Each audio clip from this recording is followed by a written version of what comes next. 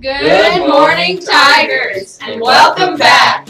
Mark your calendars, folks, because our lovely student council is planning a lock-in on February 17th, and more information will follow on Friday. We're going to give you some permission slips and some uh, fundraiser sheets to your pause teachers, so be on the lookout. Just a reminder that both of our basketball teams have games tonight against Blackville.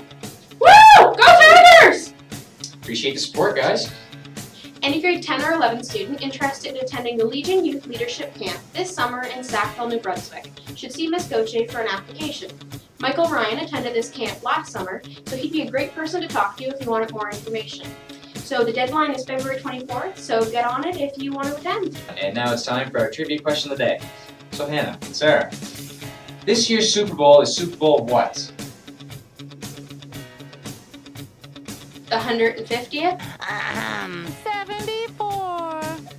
Not even Thirty-seven. Oh No. wait, 150 is Lenon's birthday. Okay. Oh yeah. Well, you guys weren't very close. It is Super Bowl 51 this year.